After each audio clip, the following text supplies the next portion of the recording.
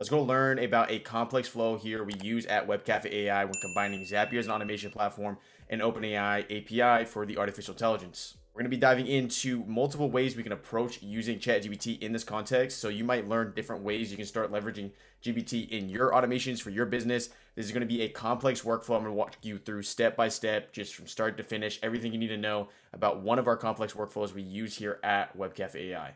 Welcome back to the channel, y'all. I'm Corbin AI. As you may already know, let's go ahead and jump in today. So, video I want to do today is that one of our domains for our corporate account here at webcafeai.com is that we showcase different AI businesses. And one of the processes during this website here is you can submit your own business. So when an individual fills out this form in regards to their specific business, we go ahead and process it and see, you know, goes through a vetting process and see whether we want to list it on this website. So a situation I was facing was I didn't the data that we would receive would come in in a very particular way. So let me go ahead and show you what that would look like. Okay, so I went ahead and filled in our form here with some just test data here. As you see here, we're going to take the place of a real estate company. We're going to go ahead and just fill in the links here, just fill in the information so we have something to submit. I'm going to hit submit for review. And then as you'll see, when we receive this as a data point, it isn't like digested correctly and it isn't how to make it so it's operationally easy for us so it can automatically be listed or vetted for us. Okay, so when we receive a form on our website here, as you see, this is how the data comes in, which would then require me to go to our backend here and I would have to add it manually, right? Add all the data points, the name manually, the link manually, you know, the tags manually, the descriptions manually. That's too much work. Let's streamline it and let's automate it with artificial intelligence and automation. Over the past week during Thanksgiving, I went ahead and created this within two hours. This goes over ways we can start using ChatGPT in the context of reformatting data and really more complex methods rather than just like, hey, give me a social media caption. So the way this process works specifically for us is that we will receive a contact form and that will get triggered, right? So once that gets triggered here, we're gonna first add a filter block. So the purpose of this filter block is to um, go ahead and make sure we don't get like spam messages but one thing I want to do real quick is I'm going to go ahead and edit this real quick and actually put in the test data that we just received here. So let me go do that. Found our test data here. I went ahead and just went edit and then, you know, obviously click, you know, find new records. Here we go. We're going to go proceed with this record here. So I'm going to say continue with selected record. So this is the flow here. First thing we want to do is we want to add a filter block. So this can be very useful in whatever context you want to add this into your automations. This is kind of a advanced filter in the context of automation as it allows us to exit out of automations if they're uh, you know, if they're useless or deemed useless. So for us, the way we went ahead and filtered our block here is, as you see here, it's not showing it correctly, but it, if I go ahead and just find the data title here, um, let's go ahead and find that as well. So as you see here, we have it structured like this. We gave context. We said we received a submission of a business to be listed on our website. Then we provided the, the submission data. So we said form submission data. Um, the reason I'm talking like this is because uh, when we reference it later, it's important in prompts to make sure you reference and clearly identify what you're identifying, if that makes sense. So for this context, we're saying form submission data, we're gonna do business title. So our way of gut checking whether it's a spam or not spam is allowing ChatGPT for us, this is gonna be our business name here, is allowing ChatGPT to basically look at the submission and identify based off the title and description that was submitted in the form, is this deemed at a certain extent not spam? Now, to give you context, some spam form submissions I've gotten in the past was someone just straight up putting in the same character. So putting in like, you know, triple A or like someone quite literally put spam in the form. So the idea is this if someone were to put a title that seemed not correct or not like a business title or a description that doesn't seem like a correct description, we're to get an output of no. So this allows me to save on automation task and, you know, not go through this entire flow here. But because I gave some real data here or some data that could pass as real in this context, such as the name being real estate AI and then the description being we run an AI company to help buy houses, this is going to be deemed as true. Yes. So I like having this set as a model of GPT-4. In theory, this can work with 3.5. It may require a little bit more prompt structuring. In your context, if you choose to do so, make sure you add a filter key. This isn't, I called it filter BS. this is important as this ensures that the way it structures its outputs is either yes or no. And it's very important that it maintains that kind of structuring as that's to what it, that's going that is what's going to allow us to exit early as you see here. So I hit continue here as you see from that underlying response here We might get some past responses here. If I hit reply, we should find a answer of yes. So uh, yep, right here, content yes. So as we go from here, this is how we proceed. Now we add a simple filter block here. The filter block, and you could probably already interpret, you could add a path block here if you have different variables rather than a boolean of yes or no. Maybe there's different paths you want to go down depending on the type of content. For us, it's just yes or no. Is this spam or is this not spam? If the reply from ChatGPT is yes, and exactly matches yes. So if this reply, so if I go to filter here, I type in reply, if this reply, the output of ChatGPT is yes, you want to put exactly matches, yes.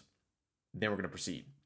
This is because if the reply was no, then we would exit out early, saving us automation task. And just to send this home, as you see here, we added the quotation marks, generate yes if submission is real, or no if the title and description are not real. There we go. We passed our very simple logic for a filter here. Let's move to our slug maker. So you might, what is a slug? Uh, check the URL right now in your browser. So slug is like the, um, for our context here, it is the link, right? So this is how a link looks. Typically with slugs, you can't have special characters in them. Has to, it looks best when it's all lowercase and we're using dashes. So what we did here is instead of going through the process of formatting it with JavaScript, let's just use GPT here. And what's best is we can use a lower model like 3.5, which is really, really cost effective.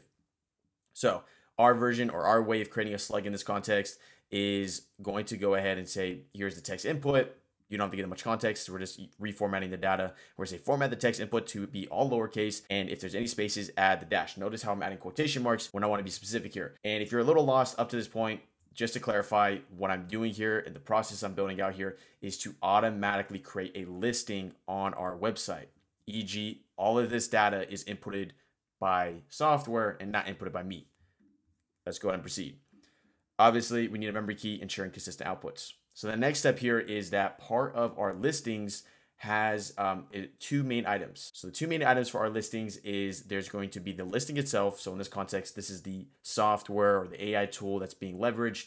E.g., let's just go to the front end and show y'all real quick. So for example, if I come to PDF Reader here, this is the listing for us. If we want to go to the business that operated or owns that listing, we go to business profile, and this is the underlying business. So in this process, though, we got to kill two birds with one stone because the actual listing itself requires a business as well associated with that. So to kill two birds with one stone here, we're going to go ahead and create the business and the listing in the same automation flow. To do so, what we did is that we just create another item. This is going to be, you know, pertinent or whatever is associated with your platform. We're going to create another item here. We're going to go to our collection of businesses and we're going to go ahead and uh, input all the relevant data that we found in that submission. So for business bio, we're adding the description, for the email, we're adding the email that the business put in the form. For the Twitter link, uh, we're putting in the Twitter. Twitter link, that's cool. What is the Twitter? Check me out on here if you have a Twitter. Random thoughts, AI stuff, cool stuff. Um, location, San Francisco. Business name is going to be the business name input in the form. And then the business link, which we is going to be the slug maker, which we identified before as this is going to allow us to put in the correct formatting for our underlying link here.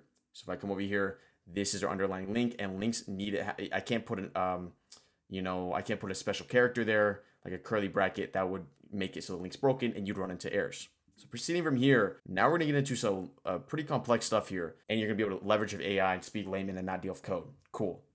This is gonna be our tag creator. So our purpose of our tag creator here, as this looks a little confusing, is right now on our website, we have nine different ways to niche down your underlying listing e.g., let's go to Web Cafe Marketplace here. We have the tags of market uh, marketing and productivity. So basically just giving more context of what the underlying AI tool is or software. Knowing that though, we have, you know, how do we automatically have it so that a tag is added to the listing as well? This is how we do it. So the way the data comes in from our form is the individual is, you know, if they selected design, so I come back over to a form here. If they selected design, e.g. I click that, it's going to be true. If I don't select it, it's going to come in as false. So knowing that, we know we're dealing with booleans here. Therefore, if they put false for chatbots, we don't want chatbots on this listing. So what we do here is, I mean, I'm speaking a little bit of their language here. So I'm saying boolean tag data. All boolean, in, boolean is is true or false, yes or no. That's all it is in this context. And what we do here is that we identify the specific data point So for us, CRM, true or false? False. And you know, that's coming in live from the underlying form itself. But the idea here is this. Um, first off, I want to point out as well, data CRM, the front facing or this automation doesn't actually see the word data CRM. The only thing it will see on this data point is false. That's why I add CRM here. But proceeding from here, as you see here, we are provided with four different truths automation, chatbots, marketing, e-commerce. Generate an output for, of the only true tags in the data because we don't care about the false. Format the structure tags, tags with commas and just output the tags, no text before and after. That is a nice little dictation right there. No text before and after. If you're having issues with outputs, use that so you don't get the annoying little bit. Oh, this is your caption, by the way. I don't want that. I want the caption. Dude, that's nice little trick there. 3.5, cheap, tag out, memory key, and boom. If I hit this, retest this step, we're gonna get a structuring of tags and commas. As you see, we did that. So we got automation, chatbots, marketing, e-commerce. Proceeding from here, this is where it gets a little bit complex, but by showing you this, you're going to be able to be like, oh, okay, now I can do some cool stuff. So the problem is the way that at least Webflow works and this API works is that you can't actually input. So when we're building out our create our business listing here, I can't put in uh, for the tags automation. If I put automation there, it's not going to work. So the way that Webflow, this is my context, it might be different for whatever back uh, backend you use, but this is good to know because it might be a little bit uh, formatted a little bit different than you expect. So for the way ours works is, for example, uh, we get our tag creator here and we get the output of automation. Coming over to our Webflow here, if I go to uh, automation, I can't put automation. So what I do put is the item ID. So that's how it commutes and commu communicates in the context of software uh, so I can do this automatically. For you, it might be something specific to Shopify or WordPress, whatever it may be, that might be holding you up in certain contexts. Keep that in mind. If I if I put automation there, it'd be an error. If I put the item ID there, it's going to be automation, but that's just how it communicates. Knowing that, I had to add a little bit more complexity to this automation. Therefore, what I had to do was I provided the tag data. So I went to every single one of those tags, CRM, productivity, social media, and I provided that ID I just showed you in the automation itself. Therefore, then I provided the tags that were chosen based off the previous output. So then we can go ahead and choose, uh, basically choose the IDs that are associated with this underlying form submission. But then on top of that, I said, okay, here's business context, the business description from that form. Based off this business context, and the tags chosen only output one tag and basically the tag ID that would fit best. E.g., does the social media tag fit best in this business context? Does the automation tag fit best in this context based off the tags chosen? Knowing this, if I come down here, GPT-4, tag out ID uh, for the key, continue. Now retest this step. We're going to get one ID and it's going to be specific to a specific tag. Boom. There we go. I'll zoom in a little bit here. So now we go ahead and proceed to our next step here, which is a little bit more simple. Um, same idea here. Every single category for our under, underlying Webflow backend has an associated ID. So I go to GPTs here, we got an item ID right there. Therefore, for us, what I did is said based off the category chosen, is a little bit more fixed here. Go ahead and just give me the ID. So as we know here, based off the form submission of AI tools, the ID associated with that is going to be the AI tool ID. Therefore, based on the business category chosen, output its ID, just the ID, no text before or after. Then we're gonna go ahead and continue. And since that was a little bit simpler logic, because it's very like just give you ID, I went ahead and opt for 3.5. Continue, test that step, and we'll be good to go. So then we get to the final leg here, which was creating the business listing itself. So this is just connecting the dots at this point. Listing category is going to be uh, choose category. Listing tags is going to be the tag that we got right here. Business is going to be the underlying business we created here. Um, e.g., we created the business for the business listing. I'm going to go ahead and run this all live so y'all can see it live. Moderator, this is a fixed piece of text because we currently only have one moderator here, an AI moderator called Brew. We went ahead and grabbed the fixed text of Brew here and Brew right there. Uh, Americano, black, drink it straight, best way to have coffee. Uh, listing long description, provided the long description from that form there. And, you know, for right now, I have for the, the different links associated with the listing, I have it in the about, then have the name, and then I have the underlying link here. So this is a cool little trick here. So the link itself, I don't want it to have the same uh, path as the business link here. So what I did here is I took the, the uh, slug we created here and I just added dash AI dash business. Therefore, the listing has a separate uh, domain link than comparative to the actual business itself. So this might sound a little confusing, so I'm gonna show you all live here. Knowing that though, we have successfully set up an automation. So when an individual submits a form, it puts it all into draft, as you see here, and allows for discretion on whether we want to accept it on our site or not. On top of that, um, notice that it's not perfectly done yet. E.g., the links, the website link, and the image links aren't perfectly done yet. This is still a work in progress as I plan on making this even more, you know, more effective at automatically putting links and stuff of this nature. But up to this point, this does basically 90% of the heavy lifting here when it comes to how we categorize and how we input data for businesses. Therefore, let's see it in action, shall we? So I'm gonna go ahead and retest this up here. And with this retest, if I did everything correct, I may have messed up. We should see a new business here. And we do, and it's in draft. Here we go. So all relevant information here, perfect. So now with this new business listing, I'm gonna go ahead and come down to, sorry, with this new business, now we come to the underlying software that it's selling, which is going to be the business listing. So I go ahead and continue here, retest this step here. We're go ahead and proceed, and we should see a new listing set in draft. And there we go. So here's the thing. And just to clarify a little bit more on this, if I go to Real Estate AI here, notice how the business link has startup or apples. That's really random, I know. Um, and then the listing itself has startup, startup or apples dash AI dash business, e.g., two different pages. As I said before, that was the difference between basically I'm on let's learn about the PDF. This is the listing comparative to let's go to the business. This is the business, right? So we did we killed two birds with one stone here. Don't call PETA. Um, that works though. Everything works. Everything's flushed out. Everything's connected. That is kind of the wrap of this tutorial. I wanted to show you this because it, this is kind of niche, as I know this is like you're unless you're actually listing like your business is a index of other businesses and you list businesses then this is not niche and you just hit the gold but if it's not if not and this is more niche for you you still learned a lot when it came to OpenAI's API and ChatGPT and how to structure data how we can talk to data like think about the tag creator then the tag to ID think about the slug maker this negates the ability for us need to understand JavaScript and we can speak to it in layman terms so if you feel like you learned something so far or up to this point or at the end of this video, make sure you leave a like. It's completely free. Uh, if you like this kind of content, you want to see more of this content, I'm to leave a playlist at the end here. We're diving into Zapier, all 5,000 apps, and everything we can do with them.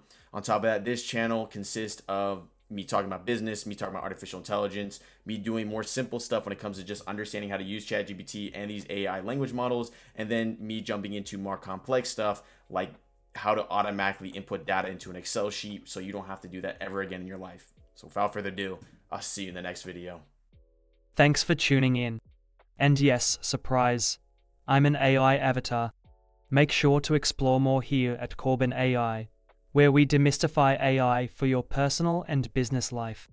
Until next time.